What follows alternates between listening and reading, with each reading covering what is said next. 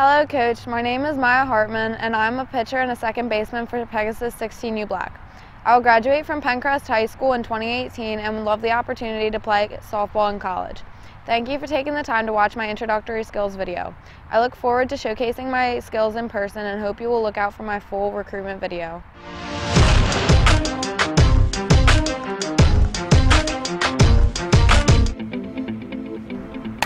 I've been playing fast pitch softball for five years. My favorite position is pitcher because I like to be in control of the game.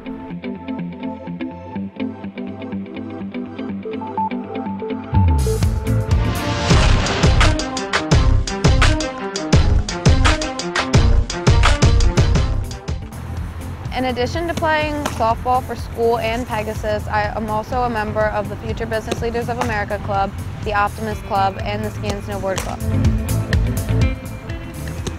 Education is extremely important to me because I feel that it opens up a lot of options to you and it helps you achieve your goals. I would love to continue my education at college. I'm interested in business and law. My favorite softball moment was the first time I threw a no-hitter on my varsity team.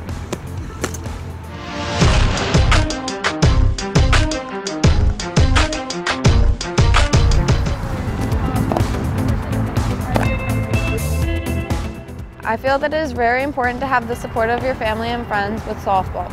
Your friends have to realize that the love for the sport comes before social outings and sometimes you have to make sacrifices. It's important to have the support of your family because they're always there to help you after a tough loss.